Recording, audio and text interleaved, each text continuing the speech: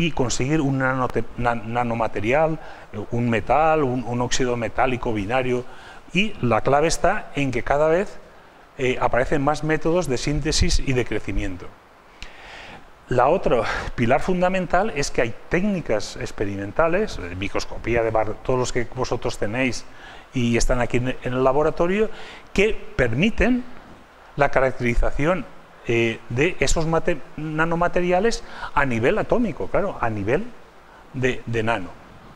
Y la otra cuestión que, es nuestro punto eh, fuerte como, como, teóricos es que tenemos eh, teoría electrónica de estructura electrónica adecuada para apoyar o interpretar los, los datos experimentales que después intentaré decir. Bueno, pues eh, lo, que, eh, lo que voy a hacer al final es de alguna manera eh, relacionar las cosas o los campos o las líneas de investigación que durante los últimos años hemos hecho en colaboración en este laboratorio o, en este centro. antes de pasar a eso, mm, vuelvo otra vez a dar una visión también general de dónde estamos. Eh, para trabajar eh, en este campo y hacer avances significativos y para trabajar en creatividad o abrir las puertas para ser creativos e innovadores, uno, eh, mi, visión personal es que tenemos que hacer tres cosas.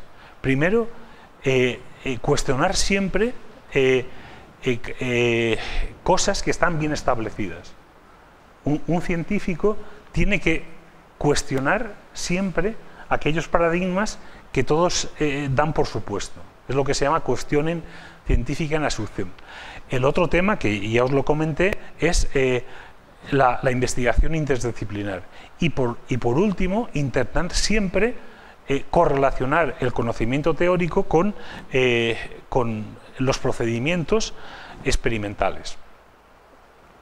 en el primer caso, aquí tenéis algunas frases de y que en el fondo van en esa dirección. Una de ellas eh, es, eh, es, un, eh, es una, una, cita de Descartes que, que, fue señalada por Santiago Ramón y Cajal, que, que, es el único científico español que consiguió un premio Nobel de, en este caso de medicina, y después un Richard Smalley, que en el 2002 fue premio Nobel, y en el fondo lo que venía a decir que uno siempre tiene que dudar de, de, de las cosas que se dan por sentadas.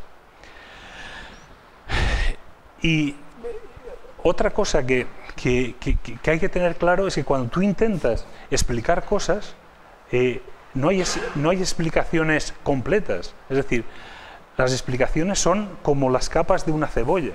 Es decir, cada nivel de comprensión necesita eh, una explicación diferente. Y eso es fundamental también en ciencia. Y después otra, otra frase que me gusta mucho es una de Thomas, de un artículo de Angevante, es que fijaros, eh, a pesar de que los conceptos y las ideas que son fundamentales ocupan un, sitio central en, el entendimiento de la naturaleza del, mundo, es un error imaginar que ellas puedan jugar un papel mayor que las, que las técnicas, eh, las herramientas y técnicas para eh, conseguir el progreso científico.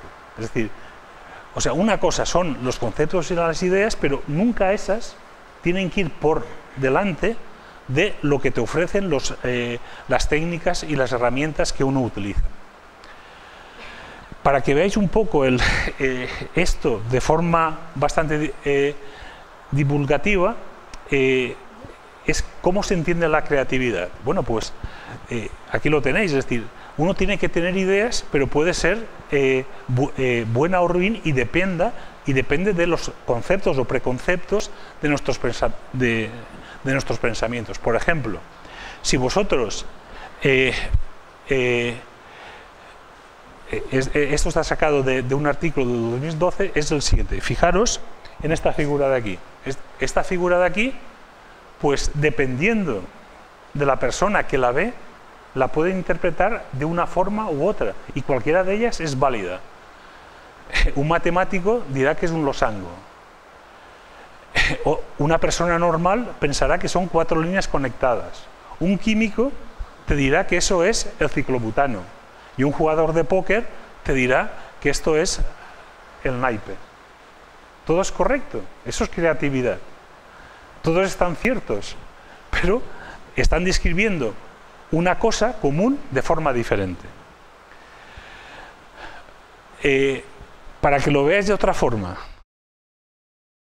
eh, por ejemplo, ya yendo a, niveles científicos, eh, ¿por qué la mayoría de, las botellas de, vidrio son, son, verdes? Bueno, pues depende de a quién se lo preguntas, él te dirá una cosa. Por ejemplo, un tecnólogo te, te dirá, como pragmático, que porque su producción es mucho más, en términos eh, económicos, es mucho más barata.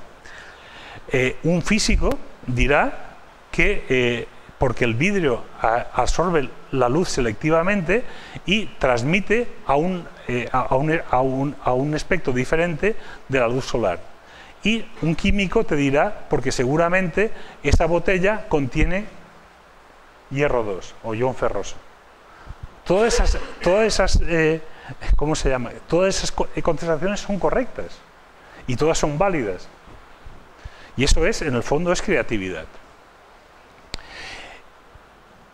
Y, eh, esa es la ventaja de, trabajar con investigación interdisciplinar, porque te, permite describir un fenómeno desde eh, varios puntos de, vista que en el fondo son complementarios y depende también, por lo tanto, de la formación de la persona que, hace eh, o, que resuelve estos problemas. después, otra cosa muy sencilla, y es que eh, eh, la, ciencia avanza, pero como nosotros somos científicos de la naturaleza, la naturaleza no entiende de química, biología y física. El concepto de química, biología o física nos lo hemos inventado nosotros. ¿eh? Por lo tanto, eh, no hay que, imponer ninguna limitación a esas visiones. Eh, y, cuando uno ya entra en nanociencia o nanotecnología, bueno, pues tú lo que tienes que conseguir es la intersección de diferentes campos donde la, química, la biología, la ingeniería, la ciencia de computación y más convergen. Y eso es lo que hace crecer eh, ese tipo de investigación. Esto lo, veis de otra forma en, un artículo bastante reciente de hace nano, donde intenta, esto es eh, Leonardo da Vinci, pues mostrar la interdisciplinaridad que, es necesaria en nanociencia o en nanotecnología. Y ya por último, eh, la otra cosa básica que posiblemente ha sido el punto diferencial nuestro es siempre intentar compaginar la parte teórica con la parte experimental. Y para que lo veáis eh, de alguna forma, eh, eh, eso no, no, no, lo hemos inventado nosotros. En el primer volumen de Nature Chemistry hay varios, el, editor lo que hizo fue pedir a diferentes investigadores de alto nivel que dijeran hacia dónde va la química en, los años futuros. Bueno, pues uno de esos eh, capítulos eh, lo escribió Johnson de, Yale y donde venía a decir exactamente lo, mismo, es decir, que, teoría, simulación y experimento tiene que ser, esa sinergia tiene que, marcar las líneas, en este caso particular de, de la química. Bueno, y estas son las, las famosas eh, ecuaciones clásicas de, la mecánica cuántica. Vamos a verlo de otra forma para que veáis lo importante que es eso. Si tú vas a, la química, la química que son reacciones químicas y lo que interesa es que esas reacciones sean lo más rápidas, lo más selectivas, lo más eficientes posibles. Y de ahí nace el concepto fundamental que es de catálisis. Aquí tenéis eh, un enzima, lo que sería un catalizador homogéneo, y eh, un, catalizador heterogéneo. Y fijaros que en el fondo todos esos tipos de catálisis tienen un punto en común, y es que todo se juega a escala nanométrica. En una enzima, la reacción química se juega en el centro activo de la, de la enzima, que es donde tiene lugar la reacción química. Y si tú calculas las dimensiones de esto, esto es escala nanométrica. Es decir, la química sin querer hacía nanociencia. La reacción química es a escala nano. Si tú vas a un catalizador homogéneo, por ejemplo, un complejo de titanio, que, por ejemplo en este caso es la, un catalizador de una, de una reacción de polimerización, fijaros, todo se juega alrededor de la esfera de coordinación de este titanio. ¿Y eso qué es? Escala nano. Bueno, y, vosotros lo sabéis aquí. Cuando vais a catálisis heterogénea, todo se juega pues dependiendo de las dimensiones de la superficie del catalizador. Y aquí tenéis una escala de 1,7, 2,8, 7,2, depende de la morfología, si es cubo octaédrico o tiene esta forma de cubo. Bueno, pues más eh, nano que eso, ninguno. Es decir, sin querer, sin querer no, desde antiguo hemos trabajado, la química es una ciencia a escala nano y eh, bueno, pues ahora de alguna manera, y eso pues eh, lo ha dicho una persona que es Somorjai, que como sabéis es uno de los, de los capos de, la catálisis. ¿no?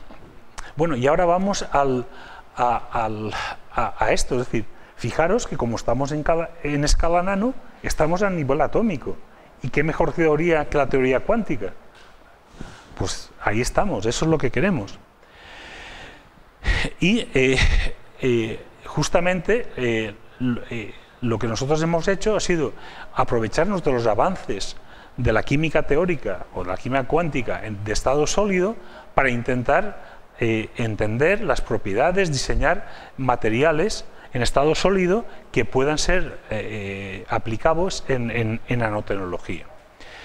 Para que veáis que esto es un tema muy, muy, muy candente, aquí tenéis algunos ejemplos o, artículos recientes de cómo se utiliza la química, la mecánica cuántica, y aquí tenéis un título, from, desde el laboratorio, eh, descubrimiento de materia y diseño usando eh, cálculos de primeros principios. Es un artículo del Journal Material Science del 2012.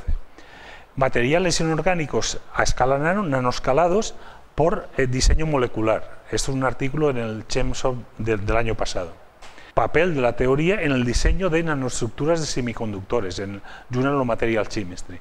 Bueno, pues aquí en el fondo eh, lo, que los objetivos de, este autor es mostrar que se puede establecer una relación entre estructura y propiedades de nanoestructuras, discute el papel de la teoría en el diseño de estas eh, nanoestructuras y eh, discute la posibilidad de usar teoría predictiva para guiar la fabricación o la obtención de nanoestructuras. y por último, aplica todo eso a nanoestructuras que, pueden ser eh, importantes para energías renovables, etc. Y fijaros, en el fondo no, se ha inventado nada. El, gran objetivo de, los químicos siempre ha sido eh, conseguir la correlación estructura-reactividad o, estructura-propiedades. Es decir, estructura-composición, eh, la estructura electrónica, que eso se puede calcular, y a partir de ahí la funcionalidad. Y eso, por ejemplo, está sacado de un artículo también relativamente decente de, Noskov en Nature Chemistry, donde intenta esto. O dicho de otra forma, estructura, la, eh, teoría cuántica, eso está ligado a la eh, caracterización estructural y la medida de las propiedades. Es decir, esto es el ciclo clásico que uno o dicho de otra manera, es decir, predecir la nanoestructura, la estructura, eh, caracterizar estructuralmente, la síntesis, la medir la propiedad y obtener la propiedad. Bueno, pues en todo esto, la química teórica o la mecánica cuántica tiene un papel fundamental. Bueno, y aquí ya volvemos a, lo que hace el laboratorio. Bueno, pues aquí esto lo, habéis visto en nanoarte, esto es el óxido de, de indio, de zinc, y, bueno, pues eh, volver a lo mismo, es decir, si trabajamos en, este campo, eh, tenemos que exigirnos el más alto nivel de creatividad científica para eh, entender o, explicar y explorar estas posibilidades ilimitadas. Y en el fondo, recuperando el nanoarte, bueno, por eso ya lo dijo Lent, que fue premio Nobel de Química en el 87, que la química es como el arte, por ambos caminos obtienes cosas. Con la química puedes cambiar el orden de los átomos y crear realidades que no existen. Por eso, eso es lo que en el fondo estamos haciendo.